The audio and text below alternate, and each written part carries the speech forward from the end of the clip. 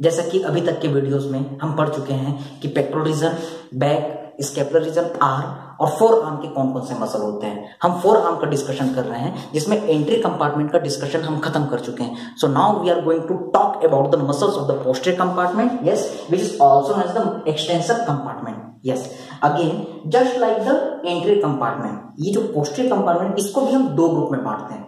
Muscle का ऐसा group जो ऊपर होता है that is the superficial group of the extensor compartment और एक ऐसा ग्रुप जो डीपली सिचुएटेड हो that is known as the deep muscles of the extensor compartment again these group are divided to the two parts yes what are the two parts your answer is first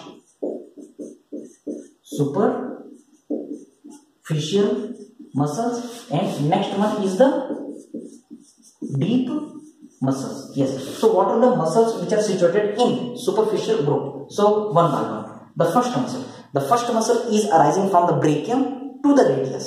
So what should be the name? Definitely your answer is brachio radialis. Just break the name. Brachio, it is arising from the brachium going to the radius. That's why radialis. अगली muscle जो होती है वो extensor point से निकलती है जैसा कि लास्ट वीडियो में मैंने आपको बता चुका है ओके क्या this point the lateral epicondyle is also known as the common extensor origin तो यहाँ से जो भी मसल निकलेगी उसका नाम किससे शुरू होगा एक्सटेंसर से so this muscle arising from the extensor point that's extensor this muscle will go to the carpal point that's carpi this muscle is going to the radial side that's why radialis and this muscle is long that's why longest so what is the name your answer is extensor हम इस नाम को short में लिख रहे हैं carpal bone that's why carpi going to the radial side that's why radialis and it is the long that's why longest so this is the ECRN extensor carpi radialis longus अगली muscle जो होती है इस, इसी का ही brother है।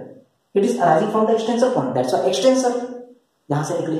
Carpel bone में जाएगी। That's why carpi again this muscle is going on the radial side that's why radialis लेकिन ये मसल जो होती है वो लेंथ में छोटी होती है।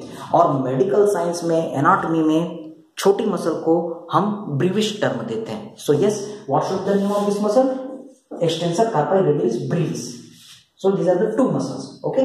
The next muscle. Now we are going to talk about the next muscle. Next muscle फिर से सेम पॉइंट से निकल रही है तो इसका नाम क्या होना चाहिए एक्सटेंसर लेकिन ये मसल कहाँ जाएगी डिजिट्स में जाएगी it will get it is getting insertion on the digits that's what should be the name the answer is the extensor digitorum yes this is the extensor digitorum so after this extensor digitorum next muscle is again arising from the same point but it is getting insertion in the little finger This finger is known as digiti minimi. This finger is known as digiti minimi. That's why what should be the name? Your answer is extensor digiti minimi. So yes, the next muscle is extensor digiti minimi. So after this, the next muscle again arising from the same point. क्योंकि ये extensor point से निकल रही है इसलिए इसका नाम क्या होगा एक्सटेंसर ये कार्पल बोन में जाती है? इसलिए कार्पल लेकिन अल्नर साइड में जाती है। That's what ulnaris so what is the name the answer is extensor carpal ulnaris and last